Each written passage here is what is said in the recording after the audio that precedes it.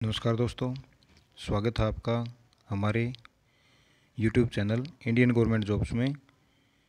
Cabinet secretariat government of India यानी मंत्रिमंडल सचिवालय की भर्ती निकली है, जिसमें डिप्टी फ़ील्ड ऑफिसर के उनतीस पद हैं, जिसका एडवर्टाइजमेंट नंबर इन्होंने दिया है, तीन ओब्लिक उन्नीस, जिसकी क्लोजिंग डेट रहेगी 21 नवंबर 2019 तो इन्होंने यहाँ पोस्ट का जो नाम दिया है, वो है deputy field officer GD.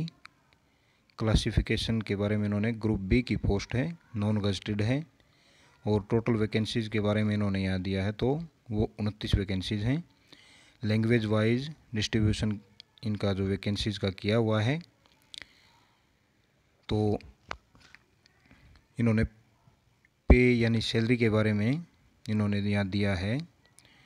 तो सैलरी आपको चौवालीस हज़ार नौ सौ रुपये जो वो फिक्स की है, जो इनका पे मैट्रिक्स लेवल जो है, वो सात है।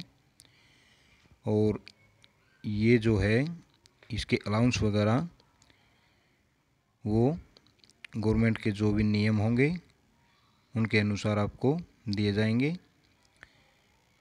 जो एज के बारे में एलिजिबिलिटी जो कंडीशंस हैं, उसमें एज के बारे में इन्होंने कहा है कि आपकी एज जो है, वो 18 से 30 साल के बीच में होनी चाहिए और जो ये एज जो काउंट करी जाएगी, वो 12 नवंबर 2019 के अनुसार ही आपकी एज काउंट की जाएगी और जो क्वालिफि एजुकेशन क्वालिफिकेशन के बारे में इन्होंने यहाँ बैचलर डिग्री रिकॉग्नाइज यूनिवर्सिटीज़ या इंस्टीट्यूट से होनी चाहिए। उसकी भी इन्होंने बैचलर डिग्री की जो डेट वो करी, की है, वो 12 नवंबर 2019 के अनुसार ही उसकी भी काउंट की जाएगी। तो इन्होंने यहाँ कैटेगरी के बारे में और एज रिलैक्सेशन जो है, उसके बारे में यहाँ दिया है। तो इन्होंने यहाँ कोड कैटेगरी और एज रिलैक्सेशन के बारे में इस प्रकार दिया है। तो कोड नंबर एक में इन्होंने जनरल कैंडिडेट कि एज रिलैक्सेशन के बारे में इन्होंने जनरल कैंडिडेट को कोई एज में रिलैक्सेशन नहीं है।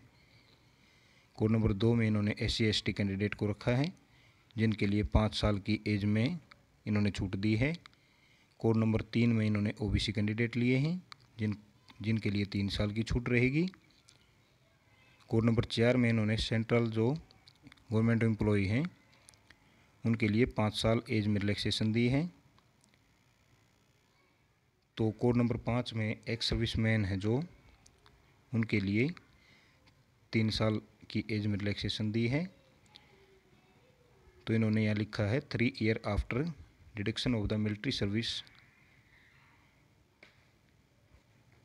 तो कोड नंबर छः में एक सर्विसमैन एंड ओबीसी यदि एक सर्विसमैन ओबीसी कैटेगरी से बिलोंग करता है तो उसके लिए छः साल की एज में रिलैक्सेशन रहेगी।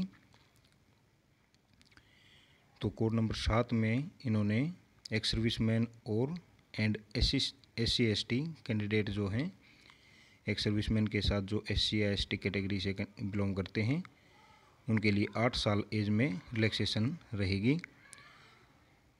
तो कोड नंबर आठ में इन्होंने सेंट्रल जो गवर्नमेंट एम्प्लॉय हैं, सेंट्रल गवर्नमेंट एम्प्लॉय के साथ में यदि कैंडिडेट ओबीसी कैटेगरी से बिलोंग करता है तो उसके लिए पाँच साल जो सेंट्रल गवर्नमेंट एम्प्लॉय का, की जो रिलैक्सेशन होगी वो पाँच साल, और साथ में ओबीसी कैटेगरी के लिए जो रिलैक्सेशन रहेगी वो तीन साल तो टोटल मिला के ये आठ साल आपको रिलैक्सेशन दी जाएगी। कोड नंबर नौ में इन्होंने central government employee and S C candidate के लिए पाँच प्लस पाँच, यानी दस साल की एज में रिलैक्सेशन रहेगी। तो इन्होंने यहाँ जो एग्ज़ामिनेशन के बारे में जो प्रोसेस है, जो आपका सिलेक्शन सिलेक्शन प्रोसेस जो है, वो written examination computer proficiency test और इंटरव्यू तो इन्होंने रिटर्न एग्जामिनेशन में preliminary examination objective MCQ type जो है तो उसमें इन्होंने इंग्लिश जो कंप्रीहेंशन वो पचास नंबर का आएगा जनरल अवेयरनेस का पचास नंबर और general intelligence and reasoning ability का जो आपसे टेस्ट लिया जाएगा वो पचास मार्क्स का होगा।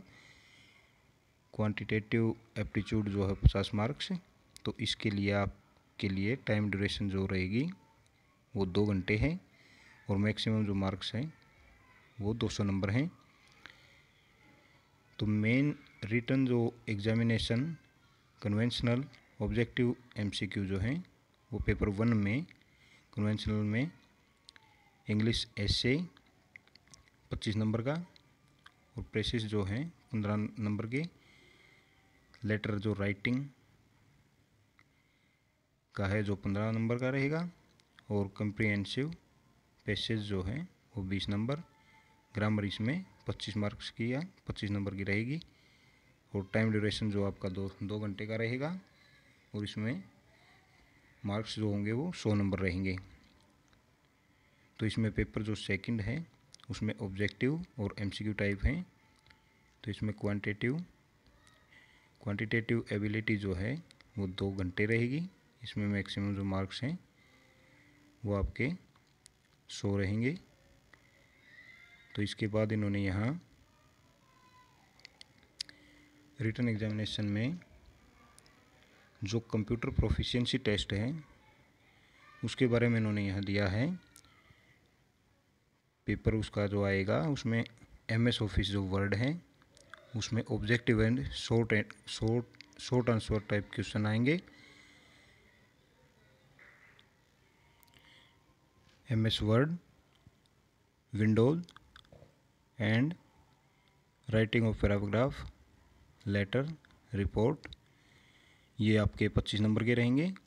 एम एस एक्सेल में objective and short answer type question जो हैं, वो M S Excel and make basis data entry and apply mathematical formula जो पंद्रह नंबर के आएँगे।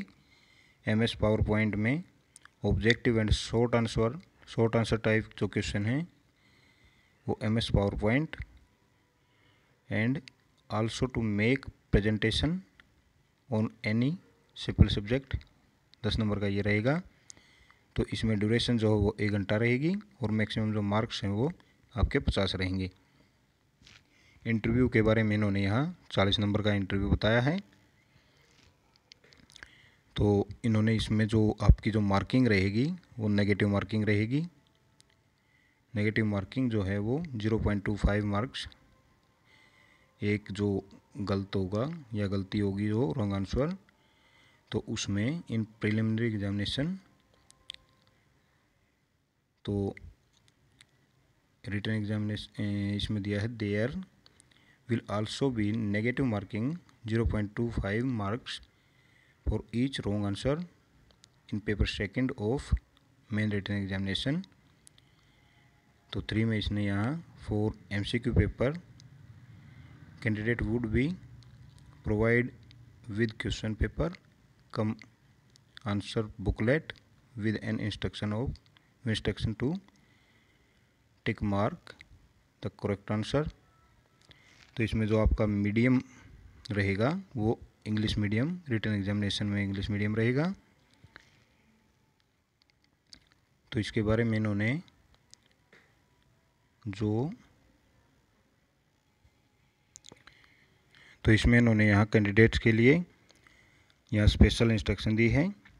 तो उसमें इन्होंने लिखा है form should be filled on English capital block letter only तो इसमें केवल बड़े अक्षर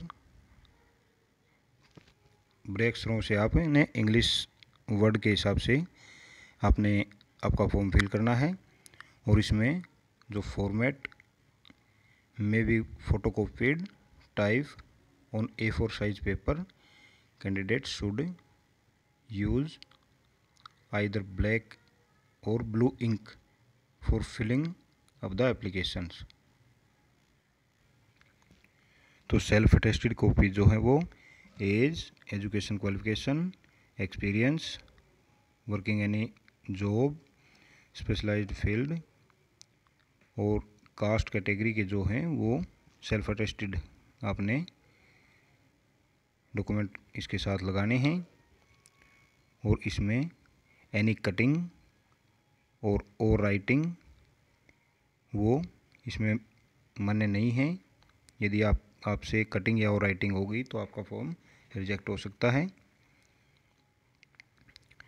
तो इसमें don't leave any column blank incomplete application will be rejected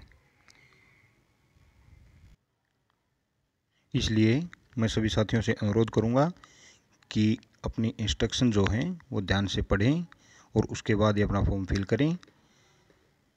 तो अच्छी तरह से आपका फॉर्म फिल किया हुआ आपको एक नई जॉब दिलाने में सहायता करेगा। इसी के साथ यूट्यूब चैनल में इतना ही। लेटेस्ट अपडेट पाने के लिए हमारे यूट्यूब चैनल में बने रहें और यदि आपको मेरा चैनल की वीडियो आपको पसंद आती हैं तो चैनल को लाइक करें सब्सक्राइब और करें शेयर करें। धन्यवाद।